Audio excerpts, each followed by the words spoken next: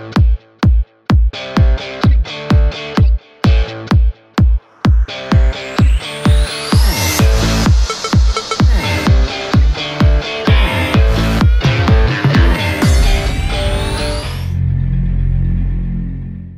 Det sker, at der dukker noget helt specielt op til anmeldelse.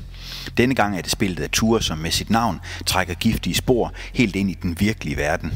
Instruktøren bag, Michael Staniszewski, anbefaler, at du spiller det igennem i sammenhæng. Bevæbnet med Move er jeg så i fuld gang.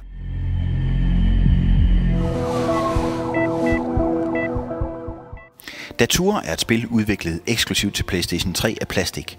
Det er tænkt som et Move-spil, selvom du også har muligheden for at spille det med en traditionel controller. Det er første gang, jeg har set en almindelig controller blive tilføjet som en pludselig indskydelse. Handlingen starter med, at du ligger på en borger i en ambulance, og derfra bliver det faktisk kun mere og mere underligt. Der er faktisk ikke nogen egentlig historie. Det er nærmere en serie af minispil. Jeg vil ikke engang gå så langt som til at kalde det gåder eller opgaver. Det er det simpelthen for let til.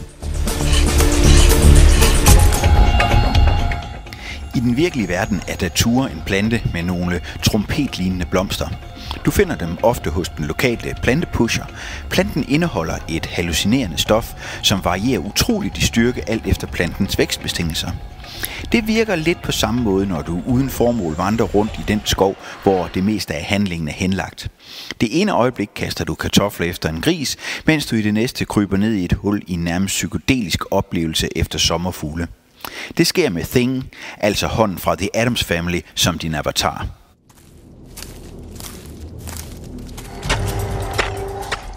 Du skal med Move udføre bevægelser som i den virkelige verden. Det gælder for eksempel at bevæge Move, som om du tager fat om et dørhåndtag og åbner en dør. Plastik har været så glade for deres nye idéer, at du ikke bare skal bevæge håndtaget én gang. Nej, du skal blive ved, til du har fået bevægelsen helt korrekt. Der er nogle enkelte elementer, som er meget innovative. Blandt andet, at du kan tage kortet op og bevæge det rundt. Kortet bliver tegnet ved, at du går hen til et birketræ og ærer det. Så får du endnu en del af kortet. Gennem historien bliver du stillet over for forskellige valg, som påvirker handlingen. Desværre er jeg for dum til at forstå noget så avantgarde som natur, så det eneste jeg har lært, det er at være god ved dyr. Ah!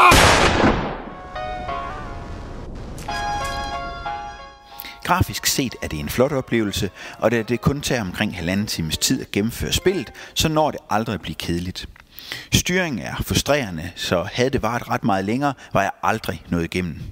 Skulle du ønske at spille det igennem to gange, så tager det ikke mere end 45 minutter i anden runde. Nye idéer er altid velkomne, specielt når de udføres overbevisende som en del af en historie eller gameplay. Det kan være, at meningen med datura er, at du skal analysere handlingen og konsekvenserne af dine valg, som i en Café Noir-reklame sammen med vennerne. Hvis du tænder på at blive efterladt i uvidshed, så er datur lige dig, mens spillet hos en mere traditionel gamer som mig selv rammer et total.